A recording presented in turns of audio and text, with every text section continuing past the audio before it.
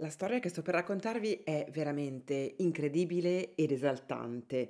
Difficilmente mi spingo a usare termini come questi, ma davvero questo è un caso eccezionale. Eh, in questo video, in questa video lezione di educazione civica, vi voglio raccontare eh, dell'organismo internazionale dell'UNESCO eh, quando, come è nato, quali sono i suoi obiettivi e, e, voi direte fino qui forse così tanto entusiasmante non vi sembrerà almeno all'inizio, ma voglio raccontarvi anche di come a un certo punto nel 1972, eh, in seguito all'impresa che sto per raccontarvi, che ha a che fare con il caso dei templi di Abu Simbel in Egitto, eh, verrà creata appunto la Convenzione eh, del Patrimonio Mondiale, che in qualche modo è qualcosa che davvero ci riguarda tutti da vicino.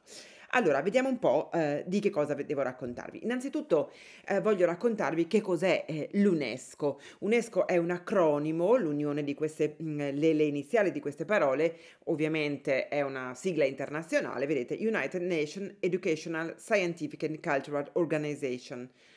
Uh, o organizi- organization, il mio inglese è sempre un po' così. Um, in sostanza, eh, traduciamolo dall'italiano appunto, è l'Organizzazione delle Nazioni Unite per l'Educazione, la Scienza e la Cultura. Fino a qui vi sembra tutto molto freddo, qualcosa di internazionale, qualcosa di istituzionale, ma ehm, dovete sapere che questa um, organizzazione internazionale è stata istituita ehm, a Parigi nel 1946, pensateci come data, eh, esattamente alla conclusione, eh, poco, pochi mesi dopo la conclusione della seconda guerra mondiale. E già questo vi fa capire, l'idea era proprio quella di eh, poter creare degli accordi internazionali politici ed economici per poter preservare non soltanto le opere d'arte, perché se ve ne parlo io di storia dell'arte, evidentemente per voi è un'organizzazione che tutela l'arte, ma in realtà ehm, l'intento di questa organizzazione internazionale era quella di poter costruire una pace duratura. E come si fa a costruire una pace duratura? Diffondendo la cultura, facendoci sentire tutti fratelli uno dell'altro, facendoci capire che una testimonianza storico-artistica creata in un luogo remoto della Terra in realtà è una testimonianza che ci riguarda tutti da vicino, che fa parte del nostro patrimonio quasi genetico, mi sento da dire, di dire culturale, genetico, internazionale. Quindi eh, l'UNESCO, nata appunto nel novembre del 1946, nata dalla generale consapevolezza che gli accordi politici ed economici non sono sufficienti per costruire una pace duratura e che essa debba essere fondata sull'educazione, la scienza, la cultura e la collaborazione fra nazioni. Educazione, importantissimo che i ragazzi vengano educati alla cultura eh, del rispetto reciproco e del rispetto della storia e della cultura dei eh, diversi paesi. La scienza che ovviamente collabora affinché tutto questo possa essere portato avanti, la cultura che ovviamente è il focus, il cuore mm, di questo progetto, ma soprattutto la collaborazione fra nazioni. Senza questa collaborazione davvero l'UNESCO non avrebbe senso di esistere. Al fine di assicurare il rispetto universale della giustizia, della legge, dei diritti dell'uomo e delle libertà fondamentali che la Carta delle Nazioni Unite riconosce a tutti i popoli, senza distinzione di razza, di sesso, di lingua o di religione. Eh, questa, uh, questa, lunga frase che ha a che fare con la descrizione dell'UNESCO vi fa veramente capire che l'UNESCO è una sorta di grande carta costituzionale condivisa uh, tra eh, i paesi che ne fanno parte eh, a oggi sono 190 um, eh, ai dati dell'ottobre del 2020, quindi dell'anno scorso, ma insomma sono questi gli ultimi arrivati, fanno parte dell'UNESCO 194 paesi del mondo. Vuol dire che 194 paesi si sono accordati per lavorare insieme e collaborare per garantire questo rispetto universale della giustizia, della legge, dei diritti che sono alla base di tutto e delle libertà fondamentali. Quindi davvero è una carta stupenda, è un accordo stupendo che appunto eh, prescinde dalla diversità dei popoli appunto non, non, facendo distinzione tra razza, sesso, lingua o religione. E già qui saremmo, eh, avremmo già finito la lezione di educazione civica perché sarebbe perfetta, ma voglio raccontarvi qualcosa di più. Eh, questa, mh, l'UNESCO è nata proprio eh, riflettendo, questa è una, una, frase che viene riportata sul sito ufficiale dell'UNESCO, i governi degli stati membri della presente convenzione, in nome dei loro popoli, dichiarano che poiché le guerre nascono nella mente degli uomini, è nello spirito degli uomini che devono essere poste le difese della pace. È vero, eh, le guerre vengono create purtroppo dalla mente degli uomini allora occorre diffondere, coltivare la cultura della pace. E come si fa? Si fa eh, diffondendo la cultura in generale, in senso esteso, facendoci sentire parte di un unico eh, progetto.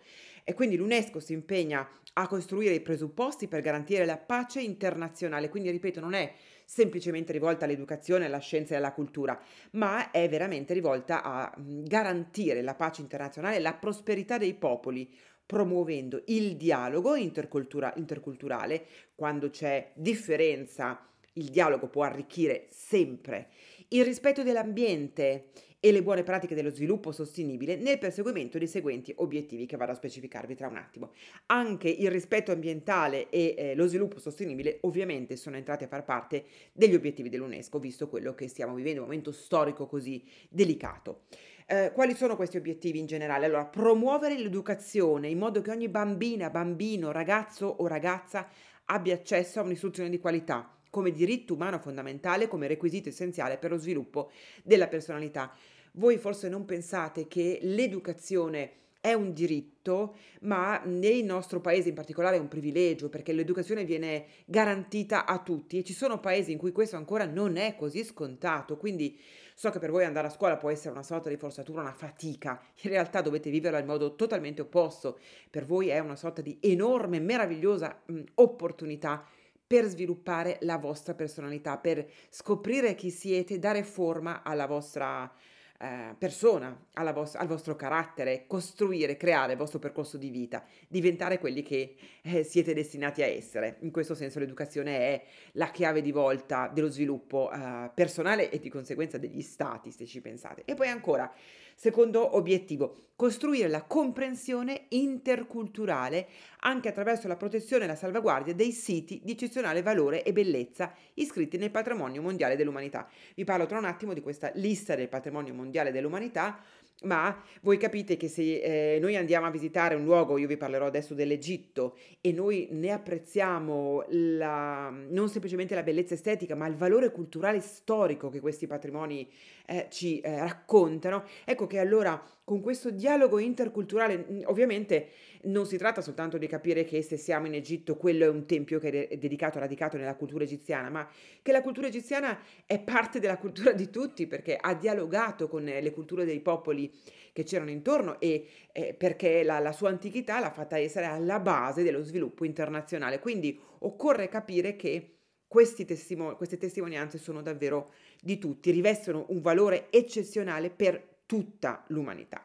E poi ancora, perseguire la cooperazione scientifica per rafforzare i legami tra le nazioni e le società al fine di monitorare e prevenire le catastrofi ambientali e gestire le risorse idriche del pianeta.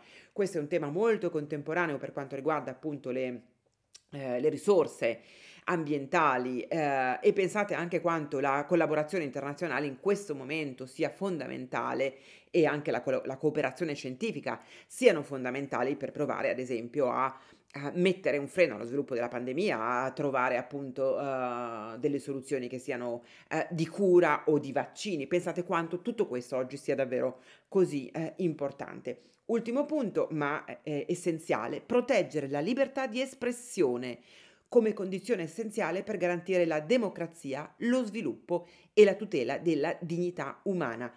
Ogni uomo ha la libertà di esprimersi, eh, ovviamente all'interno di un sistema paese che ha a che fare con la democrazia e lo sviluppo e eh, la tutela della dignità. Non vuol dire poter esprimere la propria opinione andando sopra quella degli altri, vuol dire che ognuno ha la ehm, il diritto di diventare se stesso e di esprimersi al di là delle differenze che abbiamo a livello personale, culturale, di razza, di religione, di sesso, eccetera. Quindi vedete che eh, l'UNESCO in sé ha, una, ha, degli obiettivi meravigliosi che tutti quanti noi già così possiamo veramente ehm, eh, apprezzare tantissimo, ma la storia che voglio raccontarvi è eccezionale ed entusiasmante perché in, rea- in realtà è una storia che riunisce 3000 anni di storia e ehm, eh, in particolare voglio raccontarvi il caso dei due templi eh, di Ramses II e eh, della moglie eh, Nefertari ehm, che sono stati salvati dal sforzo eccezionale di 113 paesi che avevano aderito all'UNESCO negli anni eh, 60 perché Cosa è successo? Allora, state vedendo in questo momento il tempio di Ramses II, l'ingresso del tempio di Ramses II, che risale al XIII secolo a.C. Siamo ad Abu Simbel, nel sud dell'Egitto. E eh, cosa succede? Questo tempio, tenete presente che Ramses secondo o Ramesse, secondo come viene ricordato, era nato nel 1303 a.C. e morirà nel 1213 o 1212 a.C., regnerà tra il 1279 e il 1213 o 12 a.C., quindi un regno lunghissimo. Ma cos'era successo? Allora, questo tempio, che fa parte quindi della cultura egiziana che noi abbiamo studiato, eh, ah, tra l'altro, visto, ehm, no, eh, ho dimenticato un pezzettino, eh, mi fermo un attimo. Um, vi parlavo di questo patrimonio mondiale che verrà istituito, torno indietro, eh, torno, um, torno qui, va bene, qui non importa, ecco, dove parla del patrimonio mondiale. Vi dicevo che nel 1972 eh, verrà istituito questo uh, World Heritage Convention, cioè questa, pat- questa, prote- questa con- convenzione per la protezione del patrimonio mondiale, con l'idea sistematica che eh, ogni testimonianza artistica, storica, fa parte del patrimonio di tutti, del mondo.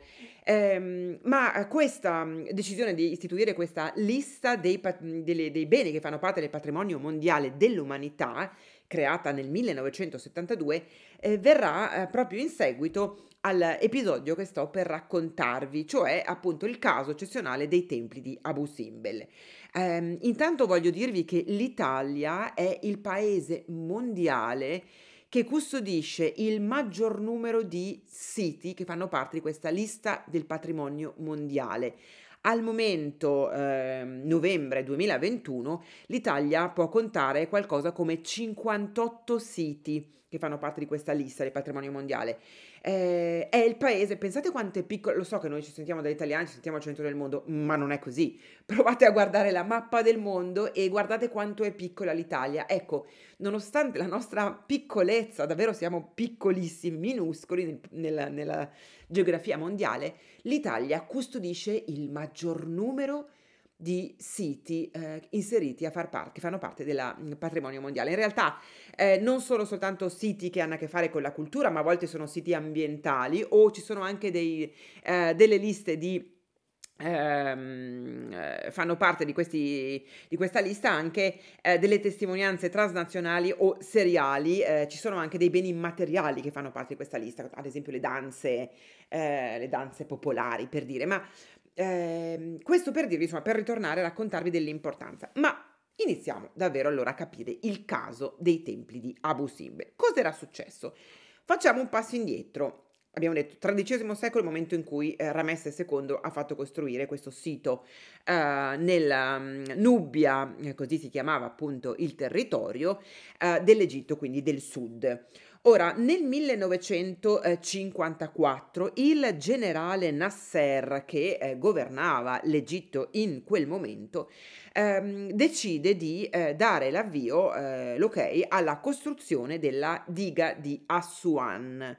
Una diga che avrebbe costruito avrebbe determinato la costruzione di un enorme bacino, lago artificiale che era necessario per poter far progredire la vita dell'Egitto eh, di quel momento e che avrebbe coperto questo spazio, questo lunghissimo territorio appunto dall'Egitto del Sud e sarebbe arrivato fino eh, al nord del Sudan.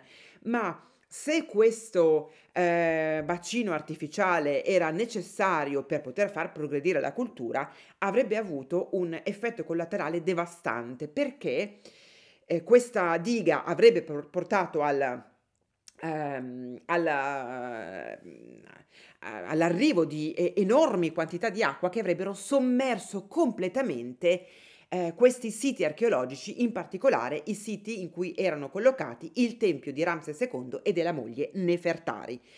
Voi capite che sarebbe stato un dramma enorme perché il bacino idrico avrebbe coperto in alcuni punti sarebbe stato profondo 90 metri, quindi davvero avrebbe sommerso completamente queste testimonianze che sarebbero in sostanza sparite nel nulla.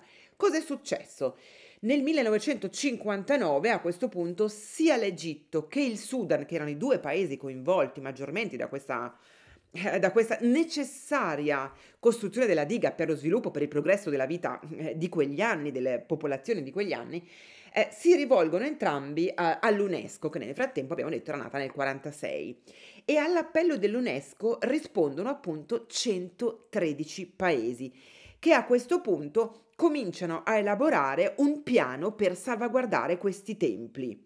È qui che inizia il vero e proprio piano, come se fosse davvero un piano internazionale di quei film d'azione in cui tutti vengono, provano a fare del loro meglio e non c'è nessun tipo di differenza interculturale, anzi, 113 paesi diversi provano a collaborare per mettere a punto un piano per salvare questi tesori che non sono egiziani ma sono tesori del mondo. Voi capite che in quel momento si era posta una profonda e drammatica scelta, preservare la cultura oppure favorire lo sviluppo del paese, la modernità, antico o presente e futuro. Ecco, la risposta che è arrivata dall'UNESCO e dai paesi che hanno aderito a questa a questa incredibile campagna è stata quella di preservare entrambi eh, la cultura del passato, ma anche eh, lo sviluppo ehm, per il presente e per il futuro. Ora, eh, parliamo quindi di questo tempio per un attimo. Eh, lo vedete, il tempio di Ramses II, appunto, eh, che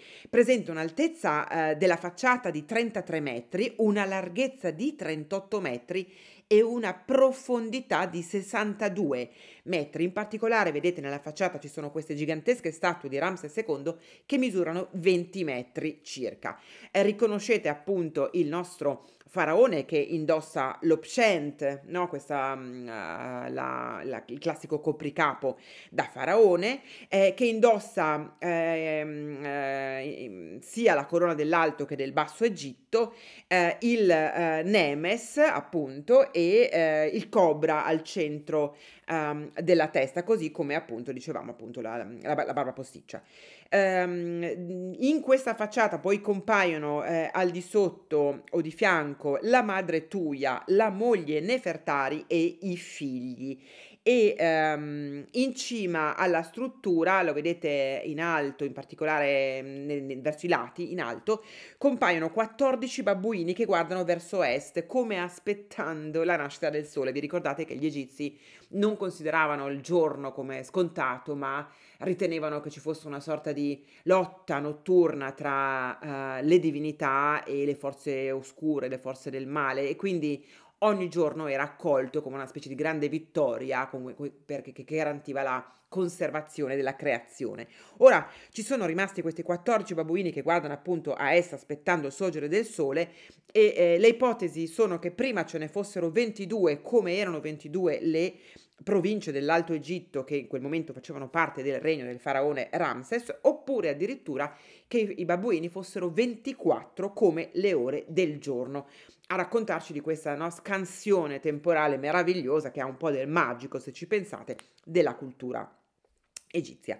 Ehm, allora, eh, cosa succede? Eh, abbiamo detto che nel 59 ehm, c'è questa richiesta di aiuto da parte dei due paesi, Egitto e Sudan. 113 paesi reagiscono e cominciano a formulare dei progetti per poter salvaguardare questi due siti archeologici. Qual è la soluzione che propongono? Prima vengono proposte ipotesi fantasiose, avveniristiche, siamo negli anni dagli anni 60 in poi. In realtà il lavoro verrà portato avanti poi dal 1964 al 68, adesso vi racconto qual è la soluzione adottata, ma le soluzioni sono avveniristiche. Qualcuno aveva proposto di eh, costruire una sorta di eh, grande mm, capsula che potesse proteggere ehm, dall'acqua intorno eh, la, mm, eh, il tempio e che fosse visibile dall'alto con delle, delle piattaforme particolari, ma insomma tutto questo avrebbe comunque compromesso il tutto anche perché la struttura del tempio era fatta in pietra calcarea, quindi in realtà uh, in arenaria, scusate, quindi in realtà abbastanza friabile e delicata. Allora, che, qual è la soluzione che è stata trovata? Intanto qui vedete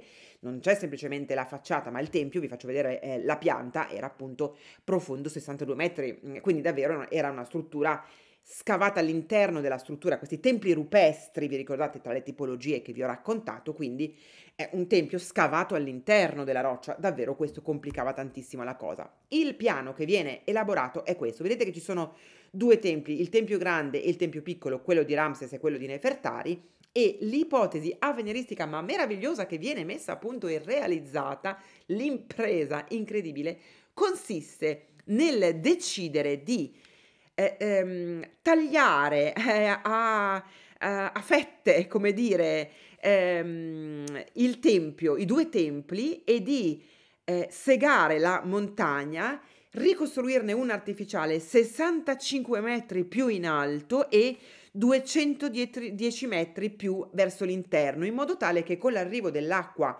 provocato dalla diga di Aswan, tem- i due templi non sarebbero stati sommersi. Voi capite che davvero è un progetto che a noi sembra così folle, ma l'hanno realizzato.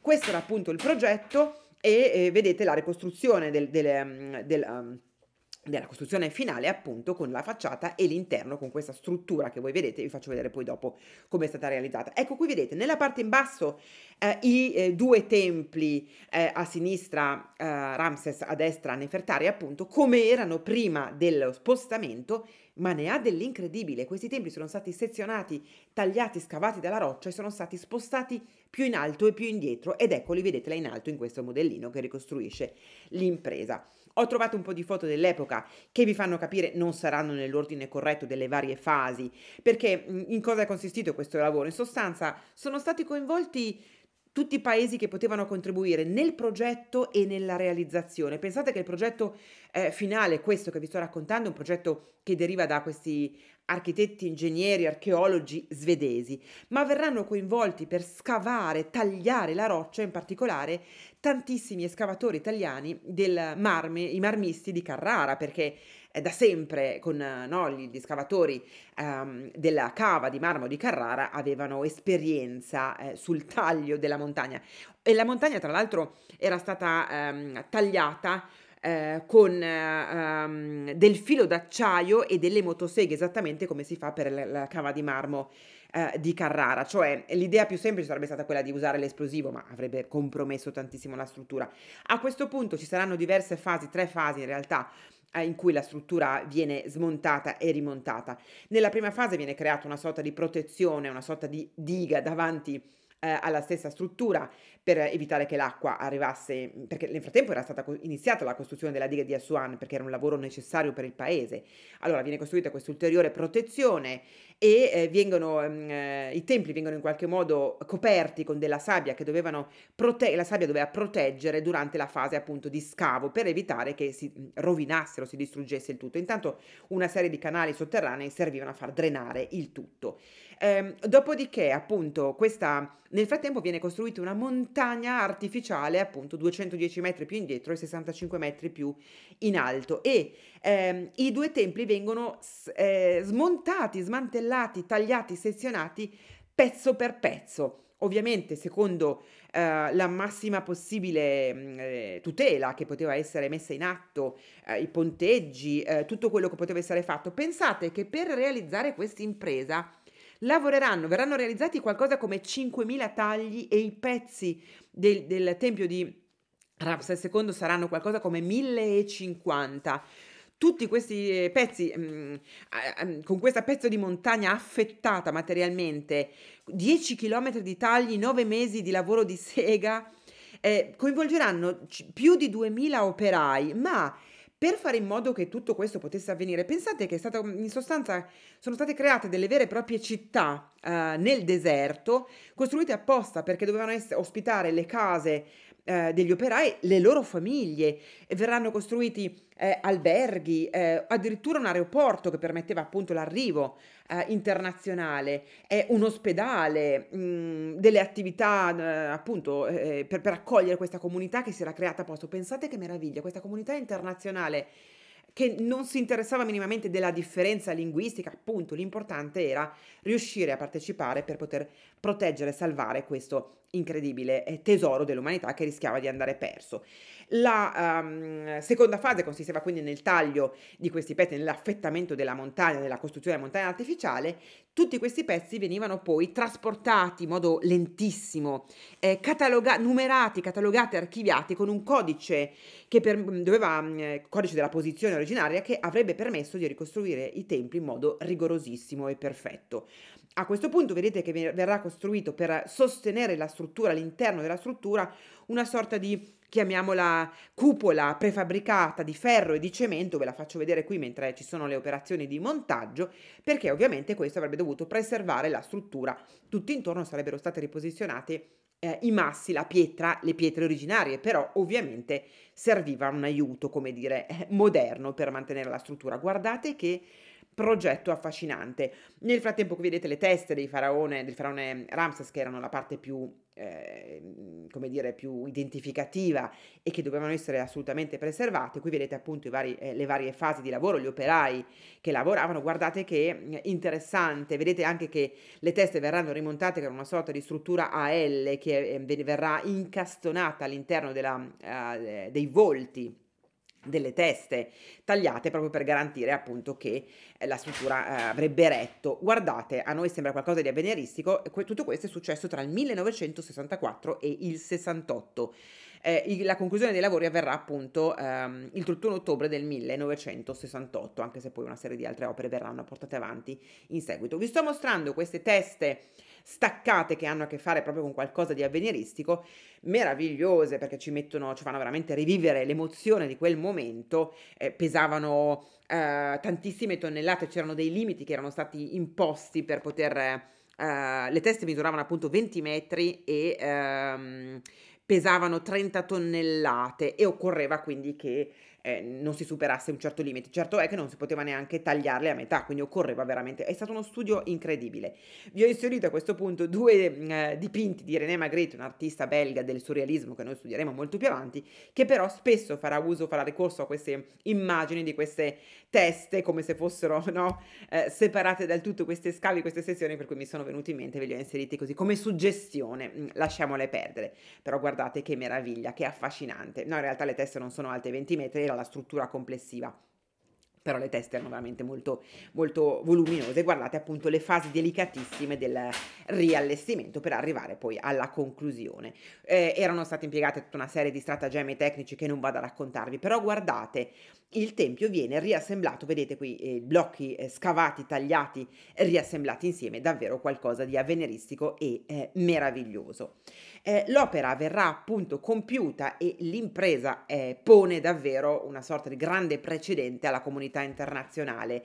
Restava eh, da completare soltanto eh, un, uno dei misteri che erano legati da sempre al tempio di Ramses II, perché in particolare in due giorni dell'anno eh, che sono il 21 di febbraio e il 21 di ottobre, la luce del sole entrava all'interno eh, della porta del tempio e illuminava tre delle quattro divinità che erano collocate in fondo al tempio. Le quattro divinità erano Ptah, la divinità che vedete più a sinistra, che era um, la um, divinità um, funebre legata all'ombra, per cui in realtà la divinità non veniva mai illuminata eh, da questi raggi del sole che penetravano in questi unici due giorni dell'anno e poi c'erano Amon-Ra, Ramses II, lo stesso faraone, e Ra, le varie eh, divinità. Faccio vedere un'altra foto in cui tutti e quattro sono illuminati, ma in questo caso con la luce artificiale. Ora, restava da vedere se con lo spostamento del, um, del tempio 65 metri più in alto e 200 metri, 210 metri più indietro, eh, si sarebbe riusciti a preservare questo miracolo della luce che due volte all'anno illuminava le statue quasi in senso miracolistico a volerle restituire alla loro divinità, alla loro, alla loro origine eh, divina, il sole stesso Ra, no? la divinità del sole. Ora, eh, in realtà, eh, con lo spostamento che è stato fatto in senso artificiale, i due giorni dell'anno eh, vengono preservati ma con un giorno di distanza, cioè oggi uh, i due giorni in cui il, il, fenomeno della luce che entra e illumina i tre personaggi là in fondo eh, sono spostati di un giorno perché in realtà si sono spostati al 22 di febbraio e al 22 di ottobre. Poco cambia, probabilmente questo ha anche a che fare con eh, lo spostamento eh, che nel frattempo è, è avvenuto eh, nei, ehm, negli anni, nei 3280 anni eh, che ci separano dalla costruzione di questi templi, quindi in realtà tutto questo ne ha comunque del, del magico. Eh, concludo raccontandovi invece qualcosa che di magico non... forse anche questo un po' di magico ce l'ha, ma vi voglio raccontare che nel luglio del 1961, quando abbiamo detto i lavori partiranno nel, da, tra il 64 e verranno realizzati, eh, finiti nel 68. L'appello internazionale parte nel 1960. Allora, siccome faceva parte di un dibattito internazionale, vi incuriosirà sapere che nel luglio del 1961 usciranno due eh, puntate del fumetto Topolino eh, in cui c'è la storia raccontata di Paperino e il colosso del Nilo e nei numeri 292 e 293 del luglio 61, qui ho messo le copertine anche se sono veramente, no, non le copertine ma la, la prima parte, eh, la prima immagine delle, dei due fumetti, anche se sono a bassa risoluzione, ecco, in cui eh, gli editori immaginavano esattamente quello che poi verrà realizzato, cioè smontare, rimontare, tagliare. Uh, i, i, templi per poterli ricostruire. È davvero curioso che eh, eh, i creativi di Topolino abbiano veramente anticipato i tempi, credendo veramente nel progetto prima ancora che davvero venisse avviato e completato. Eh, vi lascio con eh, questo eh, suggerimento, se volete per andare a vedere le varie fasi e anche le immagini di repertorio, potete andare a cercare questo trasloco del tempio di Abu Simbel, mm, tomba di Ramses II, nella puntata di passaggio a nord-ovest con Alberto Angela che ci fa da guida, che ci racconta con il suo savoir-faire eh, tutta la storia. E quindi qui eh, io vi ho messo eh, il frame iniziale, potrei far partire il video ma non lo faccio, vi suggerisco se siete interessati, vi suggerisco di andare a guardare questi 13 minuti di video di questa puntata in cui davvero vedete con tutte le ricostruzioni grafiche, eh, vedete davvero come eh, dal progetto iniziale si sia arrivati veramente a questa impresa esaltante. Lo è esaltante, quando, soprattutto quando la comunità internazionale supera le differenze per arrivare a lavorare e collaborare insieme per un obiettivo unico. Per me è assolutamente esaltante.